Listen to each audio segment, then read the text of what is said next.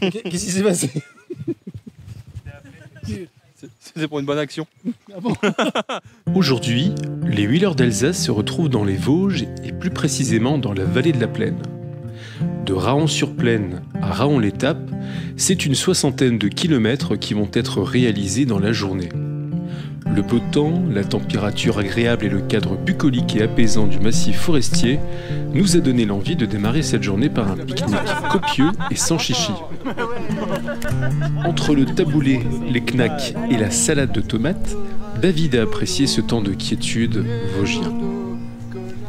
Euh, Les compagnons sont là, nous allons vous les présenter. On y va. Il manque deux personnes. hein.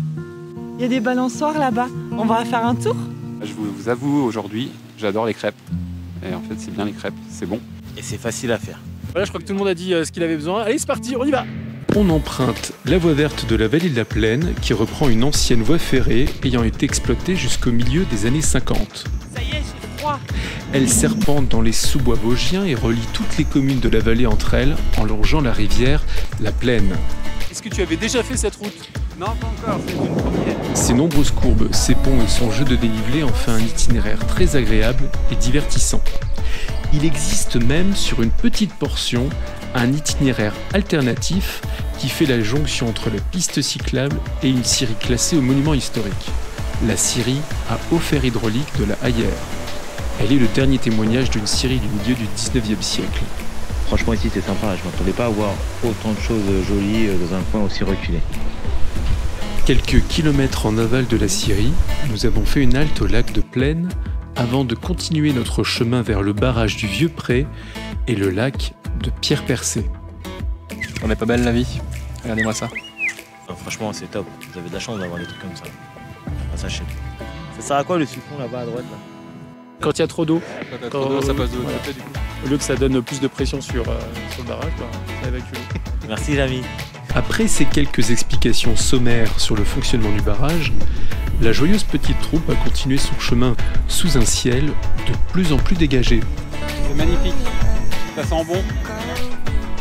Arrivé à destination et après une pause recharge, nous avons repris le chemin inverse sous les encouragements de la tenancière du bar L'Américain de Raon-l'État. Allez, hop la gang, c'est roule ma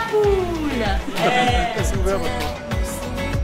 Mais moi ça va, je commence à ne plus avoir froid. J'ai même réussi à enlever mon gilet. C'est presque 25 degrés, c'est bien. Il est 17h. On rentre à la maison Allons-y. Pour le retour, on a roulé un petit peu plus vite. Même si nous avons repris le même chemin, le changement de lumière transforme complètement notre expérience de la voie verte, mettant même certains d'entre nous dans un étrange état second. Ah, on est dans les Vosges. Le grand air frais. On respire. Big up à Bonheur sur scène. Passé le lac Blanc, et au détour d'une conversation avec Michael, nous avons décidé de continuer le chemin en direction d'un endroit presque deux fois millénaire, sur les hauteurs des Vosges. Qu'allons-nous découvrir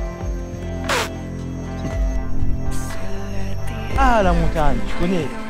Ce grand air. Ça me change de Paris. Faites l'autostop. Bah, Qu'est-ce qui se passe Hein, qu'est- Qu'est-ce qui se passe Je suis dans le rouge. Donc je préserve ma batterie pour pouvoir en revenir à la voiture. Allez, salut Allez, salut.